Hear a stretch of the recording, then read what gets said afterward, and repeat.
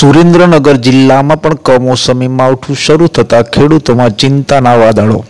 સોળથી વધારે જિલ્લાઓમાં કમોસમી વરસાદ શરૂ થયો છે. ઝરમર ઝરમર મોડી રાત્રે છીત વરસાદ શરૂ થતાં વહેલી સવારે જ પણ વરસાદ જોવા મળી રહ્યો છે. ત્યારે સુરેન્દ્રનગર જિલ્લાના મૂળી તાલુકામાં પણ વહેલી સવારથી જ વરસાદ પડતા ખેડૂતોના જીરુના પાકને નુકસાન વહેલી સવારથી જ મૂડી તાલુકાના ગામોમાં વાતાવરણમાં પલટો જોવા મળ્યો હતો. વરસાદની આગાહી હતી તે વચ્ચે જ આશરે દસ એમએમ વરસાદ પડ્યો છે મૂડી તાલુકામાં.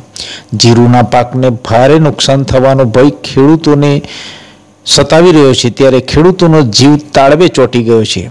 ખેડૂતો ખુમાનસિંહ ડોડિયાએ જણાવ્યું છે કે આ વરસાદ થતાં જીરુના પાકમાં ભારે રોગચાળો આવવાનો અને જીરુની વૃદ્ધિ અટકશે.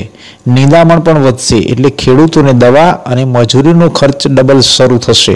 બાકી વરિયાળી ઘઉં ધાણામાં પણ કોઈ નુકસાન થાય તેવી હાલમાં તો ભીતિ નથી, પરંતુ જો માવઠું વધારે થાય, તો કપાસ, વરિયાળી ઘઉંના પાક અને ધાણાના પાકમાં પણ નુકસાન થવાની દહેશત જોવા મળી છે. આ વર્ષે ખેડૂતો પર વરસાદ આફતરૂપ બન્યો છે. પાકો તૈયાર થાય આખી સિઝન વરસાદ પડે અને પાક તૈયાર થાય તે પાકને બગાડવા માટે નુકસાનકારક વરસાદ પડી રહ્યો છે. એમાં ખાસ કરીને ખેડૂતોના ઘાસને ભારે નુકસાન થતું જોવા મળી રહ્યું છે. ત્યારે માવઠું થતાં ખેડૂતો પાયમાલ થશે તેવી ભીતિ સેવાઈ રહી છે. વાતાવરણ પલટાઈ રહ્યું છે. સમગ્ર રાજ્યોમાં વાતાવરણ વાદળછાયું જોવા મળી રહ્યું છે અને સોળથી વધારે જિલ્લામાં વરસાદ પડી રહ્યો છે. હવામાન વિભાગે પણ બે દિવસની આગાહી કરી હતી. હવે નુકસાન કરતા વરસાદ ન પડે તે માટે ખેડૂતો પ્રાર્થના કરી વહેલી વહેલી સવારે વરસાદ થયો. જીરામાં બહુ મોટી નુકસાની થઈ છે. અને હવે શું કરવું એને? અને અમારે આટલી મોટી નુકસાન થાય શું કરવાનું? ને આવે વાવેતરમાં બીજું શું થાય આ કાઢીને પછી? એમાં કઈ થવાનું છે નહીં આવે. હમથી હમથી જમીન પડી રહે. અને વરસાદ થયો વધારે. એટલે દૂધે ગામમાં થયો વરસાદ વધારે. હવે કરવાનું શું આવે અમારે? સુરેન્દ્રનગર જિલ્લાના સરલા વગડિયા રોડ બિસ્માર હાલતમાં બન્યું, જેથી કરીને વાહન ચાલકો પરેશાન છે.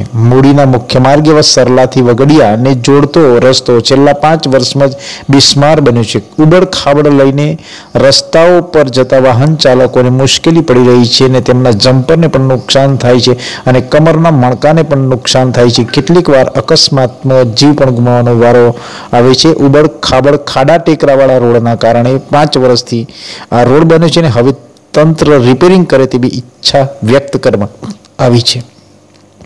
પાંચ વર્ષમાં જ પ્રધાનમંત્રી સડક યોજના હેઠળ બનેલા હતા, પરંતુ નબળી અને ભ્રષ્ટાચારયુક્ત કામગીરીના કારણે તૂટી જવા પામ્યો છે. બંને સાઈડોમાં જીપ પલટાઈ જતા અનેક ઘટનાઓ બની છે, જેમાં સાઈડો તોડી નાખવામાં આવી છે. સમારકામ એક પણ કંપની કે તંત્ર દ્વારા કરવામાં આવ્યું નથી.